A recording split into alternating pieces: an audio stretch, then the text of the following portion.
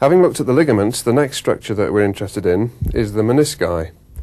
The sort of injury that David described in a football uh, game is typical of the mechanism of production of meniscal tears, particularly twisting injuries. And some aspects of his story were quite typical of a meniscal tear. The way to think about the menisci is to look at the joint line. They lie on the joint line, and in this window between the femoral condyle and the patellar tendon and the top of the tibia, there is a window into the joint where you can feel the edge of the menis- lateral meniscus there and the medial meniscus here. Is it tender at all when I press you there? No, Or there? just slight. Slight tenderness there. If I come round the back and poke up, Yeah. th- that is sore, is it? And in there? yeah. There's a suggestion of tenderness around the lateral meniscus.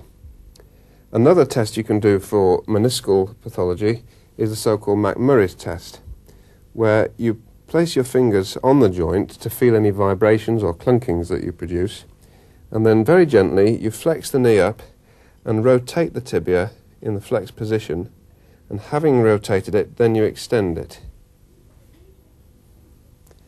Nothing abnormal felt on that occasion. Rotate it the other way. Again, nothing felt. Sometimes there's a definite jumping of the joint as the femoral condyle relocates over a meniscal tear, and that's a very hard sign of a meniscal tear. Finally, having thought about the ligaments, the presence of an effusion, and the menisci, the remaining structure to think about is the patella or to be more precise, the patellofemoral joint, which can give rise to a lot of pain, usually felt anteriorly, and often giving rise to a history of, of locking, although it isn't usually true locking. It doesn't jam up like when a meniscus uh, displaces, but it's so painful to move that the knee really freezes up, and the patient will often describe it as locking. The best test for patellar pathology is to compress the patella against the front of the femur and ask the patient if it reproduces the sort of pain that he's complaining about. Is that the sort of pain that you, you get, or is that a different discomfort? uh, it's a different type of discomfort. Right. Can you brace the quads muscle? Relax. I'm pressing now uh, on the upper pole of the patella. Brace it again.